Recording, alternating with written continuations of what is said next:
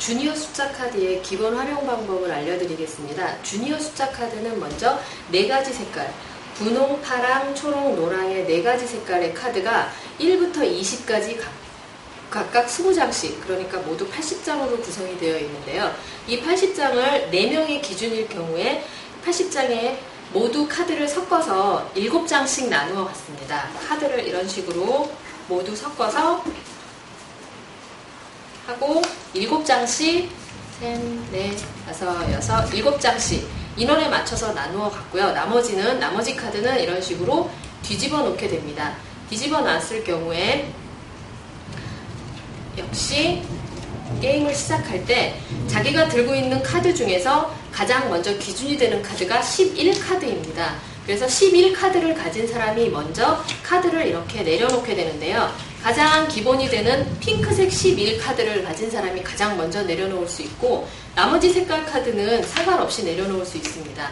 그러면 이런 식으로 11을 기준으로 해서 내려놓는데요. 만약에 11을 가지고 있는 사람이 없으면 카드를 다시 한번 섞어서 다시 나누어 가질 수도 있고 나중에 11이 나올 때까지 조금 기다려 볼 수도 있는데요. 카드를 다시 섞어서 11이 나올 때까지 나누어 갖는 것이 가장 좋은 방법인 것 같습니다.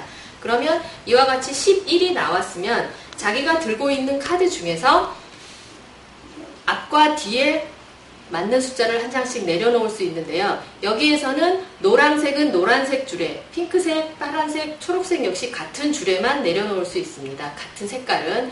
그러면 자신이 가진 카드 중에서 노란색 12나 노란색, 노란색 12나 노란색 10이 있으면 여기에다 카드를 내려놓을 수가 있는데요. 이와 같이 자신이 가진 카드 중에 노란색 10, 노란색 12가 있으면 이렇게 내려놓을 수 있습니다. 그러면 여기에서 보시다시피 기준이 이제 다시 앞뒤의 기준이 바뀌게 됩니다.